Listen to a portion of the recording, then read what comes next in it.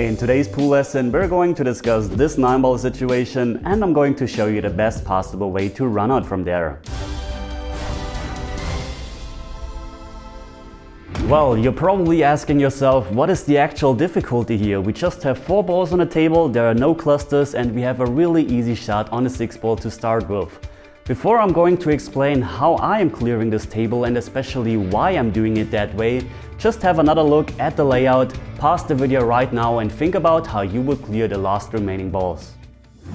Alright, we're doing it step by step. First of all, always ask yourself what angle do you need to get nicely from the 7 ball to the 8 ball. First of all, we have two options. We could either play the 7 ball into the corner pocket or into the side pocket. If we're playing it into the corner pocket, then this is our straight line. And the cue ball has to be on this side of the straight line so that it goes naturally towards the 8 ball. If we're on this side, then it goes away from the 8 ball. It's the same with the side pocket. Imagine this is the straight line, so if you're on this side of the straight line, the cue ball goes away from the 8 ball. However, if we're on this side, it goes towards the 8 ball. Well, how do we decide in which pocket we want to play the 7 ball?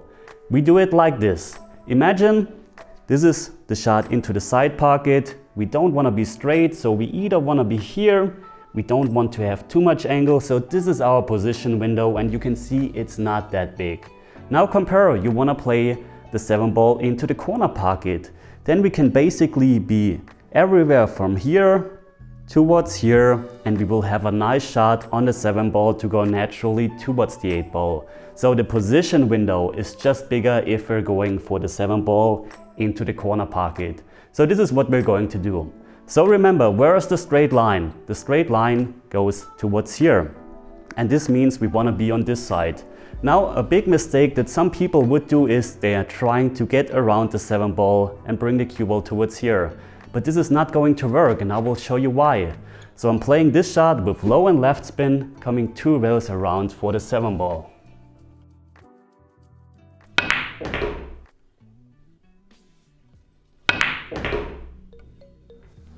Just follow the line of the cue ball and follow the straight line. You will see you have a very low chance to get on that right line because the cue ball takes really quite a while to finally cross that line. So this is not the way we're going to play it because it's just so difficult to get on this side.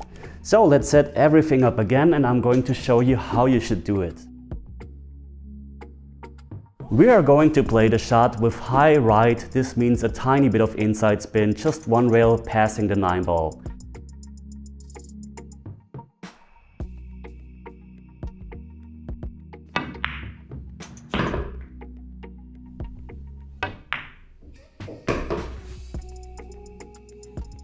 And yes, I know, I always preach, don't play shots with inside spin because it makes the shot harder.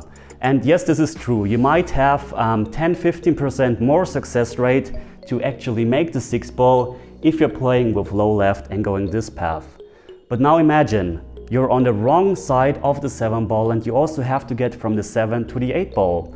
So for example, being here or being here makes 30-40% of a difference if you actually run the table by getting a position on the 8 ball. Let's actually show you how much more difficult it is if we are on the wrong side. So here I have to play low right, bring the cue ball towards here and towards here for the 8 ball. So see how hard I have to hit and how much I have to force the cue ball. and we even, no we didn't mess up, but this was just a lucky shot. So a lot of cue action was required and it just wasn't natural. So let's set the whole thing up again, put the 7 ball back on the table and now let's pretend we actually made the right decision and brought the cue ball to this side by just going one rail. So the cue ball ends up randomly here and all we have to do is just support the natural angle with a touch of left spin and get a nice position on the 8 ball. So just compare how I have to stroke the cue ball now.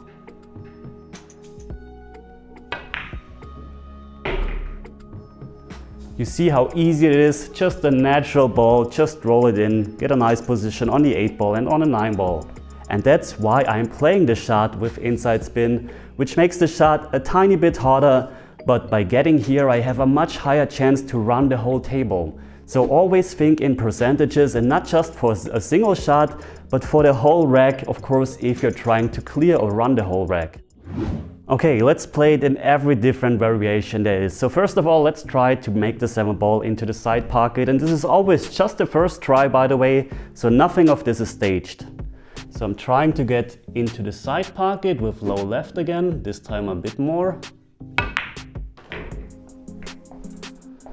And here you have it. I already ended a bit on the wrong side of the straight line. So I maybe have to catch the nine ball, touch of inside spin. And I kind of got a position on the eight ball. So you see how much I already had to work because I was a tiny bit off. So let's see what we can do if there is any offensive way. So I'm trying to cut it in. And I missed. And this was just because I made the wrong decision by trying to bring it into the side pocket. Okay, let's set up everything again real quick. So now we're trying to actually get around the 7 ball with low left again, a bit harder this time. And you see I'm never able to get that right angle here with this cue ball path. So now I have to work really hard, probably going to catch the 9 ball, low touch of right spin and make the 8 ball. So again, see how much more difficult this is. And we messed up. You see, really difficult to judge. Now let's actually do a version that I didn't mention by trying to bring the 7 ball into this corner pocket so in the best case, we get straight on the seven ball. So let me check that. Trying to get as straight as possible here on the seven ball. And you see, I messed the shot up. I'm not that far away from straight. You see, if the cue ball is here, then I'm straight. Cue ball just a tiny bit away and I'm not straight. So again, I have to force the cue ball very, very tiny position window on the shot. So I'm trying to do it, playing it high, touch of left spin coming towards here. But to be honest, this is not the shot you want to play, of course.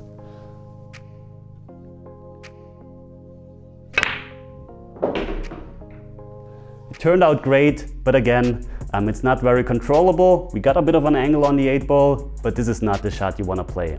Alright, let's now do the final and easiest version in my opinion at least. Alright, now let's try to actually bring the cue ball towards here with high and just a tiny bit of right spin, going that one rail path.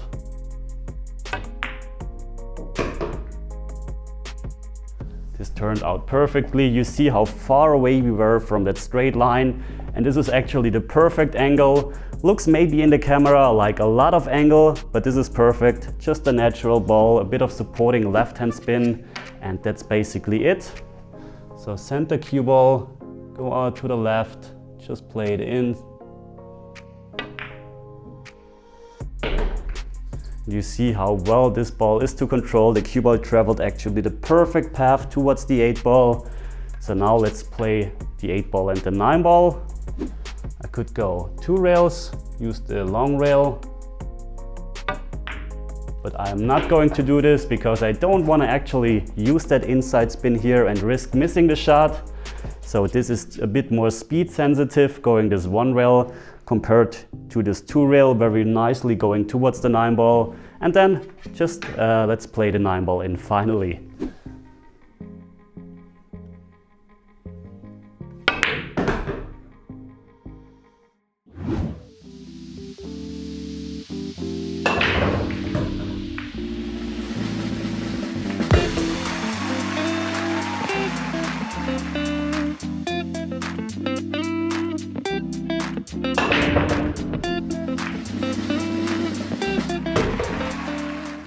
Yes guys, I know, not every single one of you is already at that level where he can execute every single one of the shots I was showing in this video, but your goal should be that in the end it's not a matter of execution anymore. This means are you even able to make the shot? Are you even able to get the cue ball to this position? No, it should be a matter of just making the right decision and then just executing it. And I know pool is a difficult game, I know the struggle, but I'm sure if you work hard, if you practice a lot, if you play matches, and of course if you're watching my videos, then you will finally reach that level. Okay guys, by the way, if you like the jersey that I'm just wearing, the official Sharivari jersey, or the Pool is Live shirt that I was actually wearing in this video, and uh, many more different shirts especially designed for pool players, then check out my shop. The link is in the video description and uh, down here. Alright guys, um, if you like this video, of course, consider to leave a thumbs up. If you have any questions, just leave a comment, I will answer your questions. And very important, if you want to improve your game, if you want to get notified once I'm uploading new content, then subscribe to my channel and very important, hit the bell notification.